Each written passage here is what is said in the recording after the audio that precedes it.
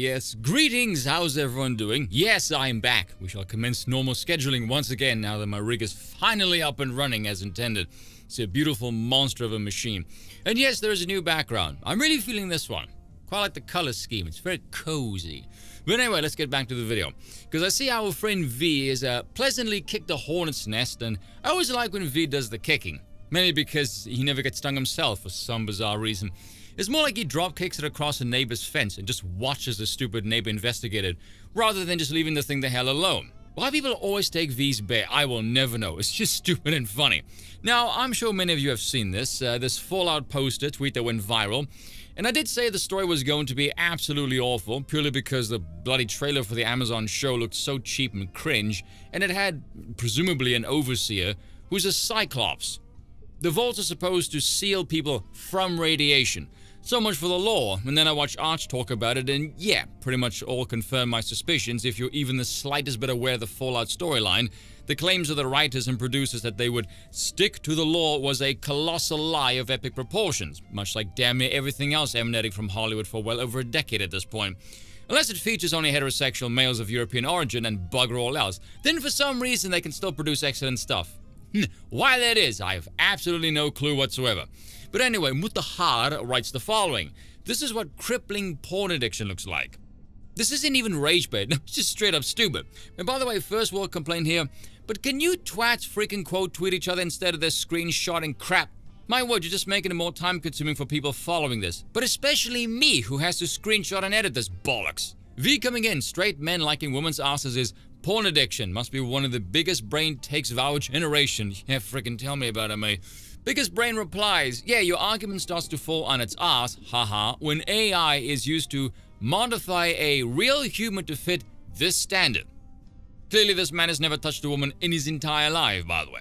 I love how this is also part of the massive Fallout lore you want to specifically preserve so bad for some reason, LMAO. AI also missed the top half of her body, by the way. This is not part of the lore. This is an AI depiction designed to shitpost you fucking imbecile. Ah, feel free to go to Vee's Twitter and take a gander. It's just an owning. It's pretty funny, actually. Now, I am not here to give some intellectual justification for the depiction of beauty in Mother Nature's more raw forms, mainly because I deem myself far too inadequately equipped for such a task. Besides, his voices from bygone eras whose works have rigorously defended this in ways I will never be able to, both in literary works and sculpted forms. I will just say beauty is a necessary cornerstone that maintains the human soul, and its absence will be felt in an ever increasingly acute form as its lacking presence will rob the civilization of any aspiration or joy. Inevitably, it will succumb to decay and wither away, till the people are hollowed out and broken shells, cold and void of any life or sparks of divinity. What I would like to discuss, though, is the reality of the sexes and the excessive commercialization of sexuality.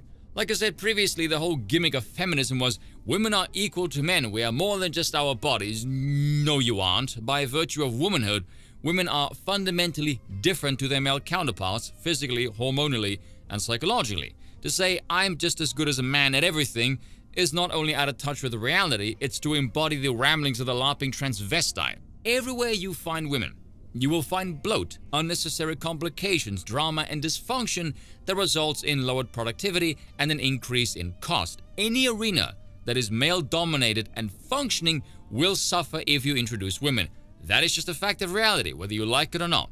Take a look at Twitter, pre and post Elon, for example. The fact of the matter is this. Women cannot compete on equal footing with men in many areas because they aren't men, they're women. So what do they use for leverage to make up this gap? vulgar and base appeals to coomers, not even alluring or even sensual, merely ugly prostitution, unromantic and frankly unsexy, grubby sex bereft of the feminine charm, all catch and no chase. Feminism has been used to champion physical sexual liberation, no matter how degrading or damaging this is to society. Now it's I am woman, hear me roar, the cost of my OnlyFans, but that destroys any femininity. It is the distillation of what feminists said the male gaze unchecked would do, the distillation of a woman down to her holes in the name of liberation. It's the essence of my body, my choice, the expression of consent culture. As long as you're degrading yourself, then anything is permissible. As long as it's contractual, then no harm, right? This is the liberal moral worldview incarnate. It's a video you make for $50 that your son sees five years later in the playground and spends $50,000 in therapy because of. Couple the fact that thanks to technology, the currency of modernity is attention, and the best way to garner mass appeal is, of course, sex, shock, and stupor. Which is why you find a score of women all over the likes of Fresh and Fit and the Whatever podcast who see no problem with selling their bodies, which is not a surprise. The moment they talk, you can see why they're in the fields they're in. See it everywhere. OnlyFans, TikTok videos, Instagram, YouTube thumbnails. Again, this has all been championed. Naturally, this is all designed to get attention, and to get the attention of men. When your civilization is designed solely for commercialism and bugger all else, ethics goes out the window and it deteriorates into a rat race for numbers. Thank you, Leiden. And if you're going to drown the market in excessive sex, men being creatures of pattern recognition will notice what sells and sells well. And seeing as women have objectified themselves in an ungodly quantity, or if I'm being far too generous here, technology has made it appear that to be the case, you leave the door open for objectification for profit in other forms. As a consequence, the cycle cranked to 11, virtually any depiction of femininity has become synonymous with pornography. Let's face it, to suggest anyone who appreciates this has a pornography addiction is just straight up stupid. I do not understand this perspective of seeing anything that can be perceived as sexual is instantly going to result in unrestrained vulgarity, as if I have no impulse control at all. I am European, therefore better with plenty of impulse control. Except around Biltong grapes, actually. But secondly, if you ask any woman what do they want their ass to look like from behind, no pun intended of course, damn near all of them will say the one on the right. So the implication here being then that those women all want to look like porn stars and give men crippling addiction. Somehow I don't think that will go over very well. No wonder the gyms are plagued these days. According to this logic, it's full of aspiring and old film stars. Although the way they behave these days, you can be forgiven for thinking that's less funny and more factual. Oh, and on that front, because I'm a personal trainer and this needs to be said. Ladies, take a look at some anatomy charts and learn a thing or two. The function of the gluteus maximus is extension and external rotation. You do realize you can build a tank of an ass with basically two or three exercises, yes? First one being one-legged squats, or pistol squats as we call them. Nice and slow, ass to grass.